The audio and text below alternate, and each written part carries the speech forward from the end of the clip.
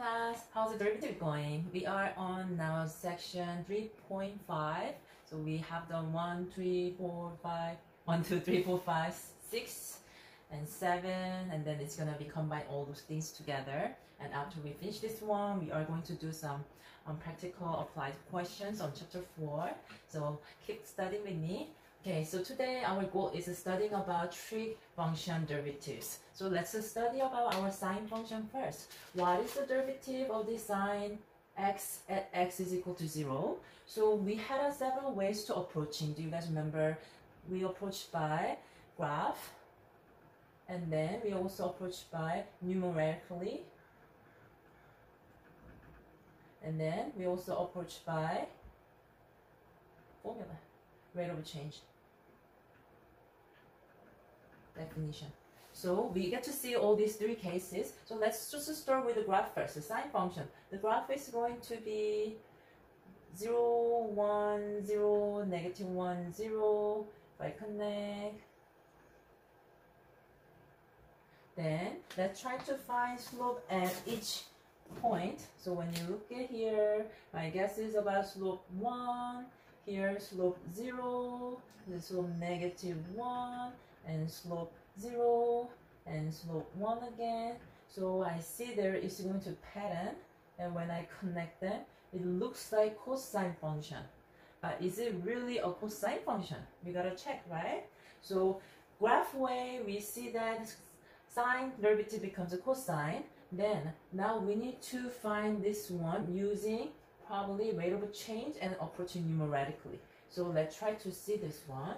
How do we plug in rate of change? It's going to be sine x plus h minus a sine x over h and then limit as h goes to 0.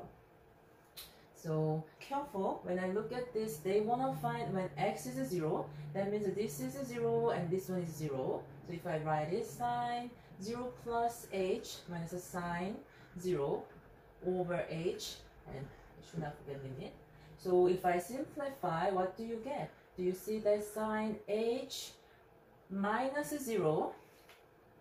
Because sine 0 is 0, right? Over h. That's what we get. But what is this limit? Do you remember we actually seen this one before? We actually seen this one before. So what is this? We punch into calculator and try to see the slope is, and then when we found it, it looks like this way. So when you graph this one, it looks like this way and that is the this piece. So as you see, when I look at this one, can you notice that ah, they are asking about what is the derivative of a sine function at zero? So what is the derivative sine function at zero? As you see, it's going to be one. So how do you get that one? Well, I guess from my function, but this one we definitely need to punch into the calculator. So they say that try to plug in h as a 0.001. So let's plug in my value. So this is my derivative, right? And then I'm approaching my h value 0.001. Then if you punch in this number, all the way quickly, sine 0.001 divided by 0.001 is 0.9999. So when I plug in 0.001, you get 0.9999. So oh, already you see that that will go to 1, which is my slope is 1. And then when you take the derivative function, it will be 1. So from here, I want you to see this limit goes to 1. I show it to you graph way. I show it to you numerically by plug-in. Of course, you can plug in 0.1, you can plug in negative 0.001, but that will be all around 0.999. So I see that my limit is going to 1 as a slope. Then we also show you rate of change as a starting way. So don't forget sine function derivative is cosine x. Okay. Then now we have in-class activities. I want you to do the same thing. I want to find cosine x at x is equal to 0. First, graph it. And second, try to see rate of change if you can get those kind of form.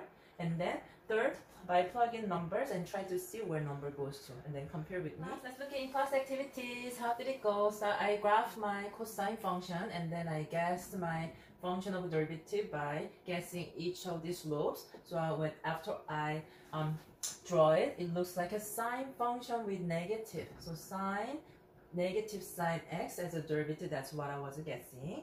And also you can do it with using rate of change. So I plug in rate of change as it when x is equal to 0. So now my expression is going to be simplified this way. So I plug in number. I wanted to plug in big number, a small number that I plug in 0.001. Then that's why it popped out on the calculator. Can you know how to read this one? Do you know how to read this one? That means negative 5 and then 1, 2, 3, 4, 5 decimal places. So this number is basically same as a point, negative point zero zero zero zero five. I want you to be able to read that. A lot of um, chemists and then chemistry and biology need to use small numbers and then so I plug in 0.01 just to make sure that my number is okay. Then I got 0.0049. So as you see that my limit is going to 0. Yeah, my limit is going to 0, right? So that's, we can guess the, um, our slope here. Okay, so here are six functions of a tree, and then let's try to memorize. So sine function becomes a cosine, cosine function becomes a sine, and then tangent function becomes a secant square. I want you to remember both ways, 1 over cosine square x or secant square x, and remember that next time as you have to do the other way around and then cosecant, and then secant, and then cotangent. So I want to also double check one more time and see that if my answer of those derivatives is correct just in case. And that's the our appetizer. So let's continue main dish. Okay, let's look at our main dish. And then first of all, remember what's the derivative of sine, which is a cosine. And then what's the derivative of cosine? That's going to be negative sine x.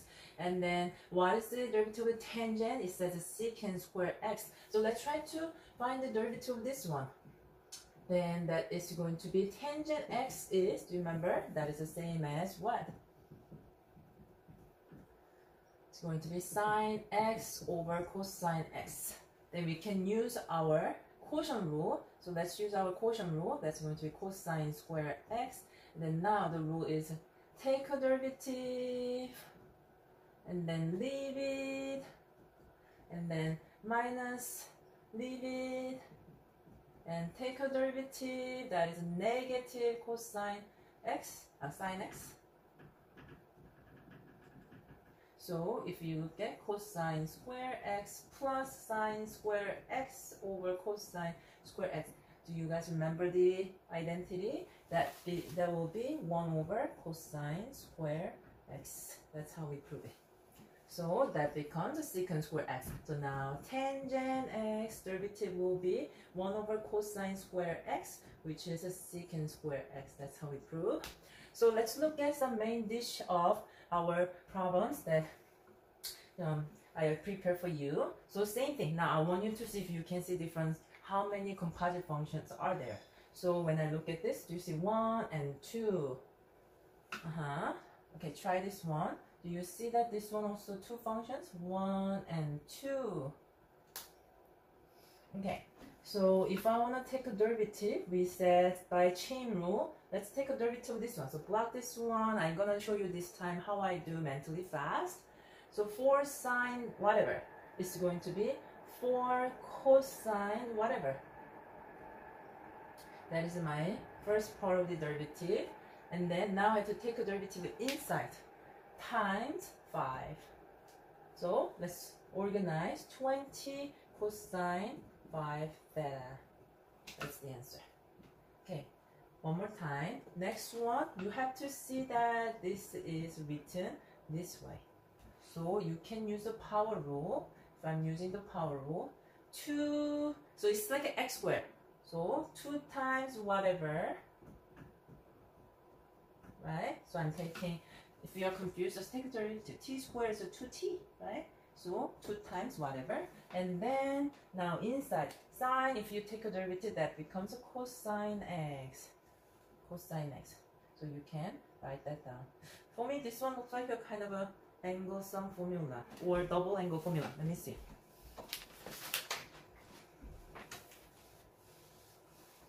Mmm, anybody remember?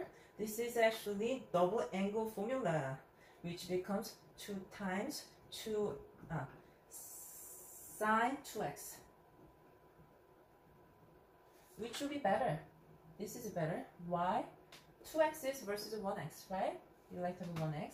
So there are four derivatives are waiting for you and pause the video and circle first and then compare the answer with me. Good luck. Okay class, let's compare the answer with your in-class activities number two.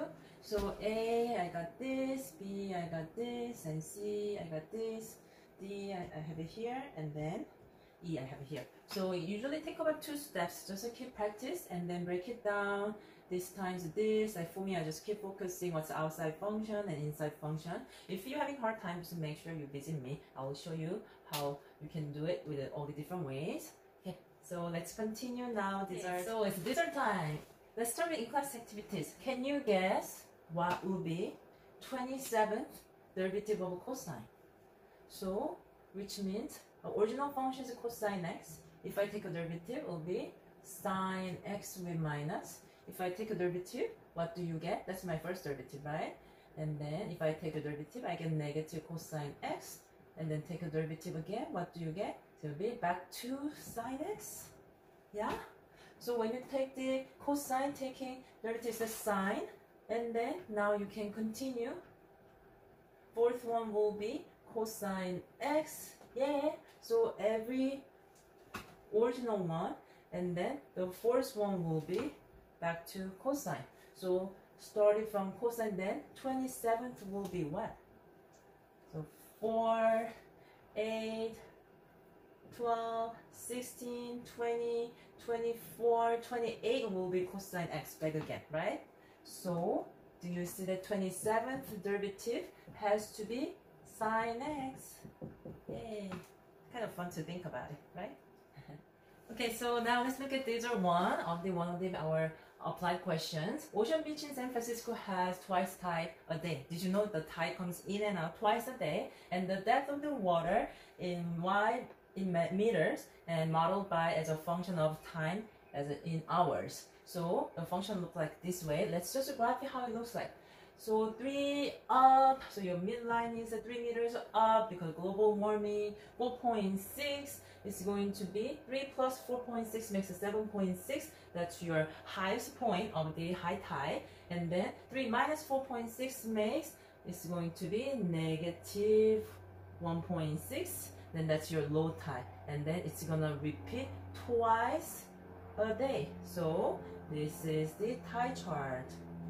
Okay twice a day. So you can, can you see that the periods is going to be twice a day, 12 hours. So it's going to be about 12 hours. Then let's compare this and what does that number do? That shows a period. So I'm curious. 2 pi divided by 0.506, what would that give me? So 2 pi divided by 0.506, it gives me 12.41 hour. So actually, um, it's a little bit longer than 12 hours because uh, if it's exactly 12 hours, nothing is going to change in the whole world of the global, right? So it is a little bit off of the 12 hours, and then that one period is about 12.41 hour.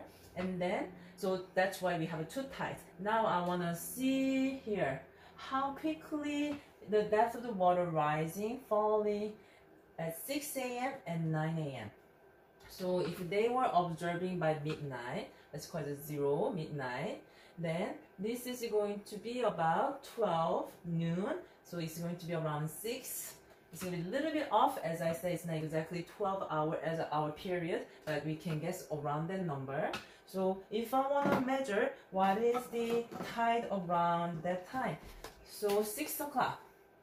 If I look at 6, if we actually look at it, we can see that it's a tide coming in and out. So my graph is a little bit rough to see. I feel like I'm talking about here. Oh, actually, I think it's a little bit off. Because one period is a bit after 12, so I feel like they may talking about here. Then as you say, I cannot guess. That's why we can plug into calculator uh, with the calculus. Now, if we want to find what will be at 9 o'clock, that is obvious. It's going to be the tide coming into high tide. So here's a rising and falling. That means should I plug in or are they talking about the rate of change? Yes, we have to find the derivative function. So let's find the derivative function. Then that's with 4.6. Cosine makes a negative sign. And number 0.506t. Don't forget, do you see the chain rule? 0.506 you have to multiply. So let's organize and multiplying 4.62.506 chain rule and negative pull out sine 0.506 and then at the time t is going to be 6 o'clock. So let's punch in and then figure do you think it's will be positive or negative? I see it's a negative number 4.6 times 0.5 6 and then so we sine times 6 don't forget putting the time inside. Then I got negative 2.2453. Okay, why with the unit? Why with the unit? It's going to be meter per hour. Meter per hour. So about negative 0.2 meters. That's about this much. So at that time, it's uh, going away because uh, low tide is coming low tide and then away that much, right? So at that time, my slope should be, it shows that has to be right here. Oh, my guess was wrong. I hope you get it. And then now I want to find what's the slope at 9 o'clock. So we can do exactly same thing, but let's plug in 9 instead of 6. Then I get 2.298464 meter per hour. I want you to see now differences. When it's 9 o'clock, that's the one time it comes really fast.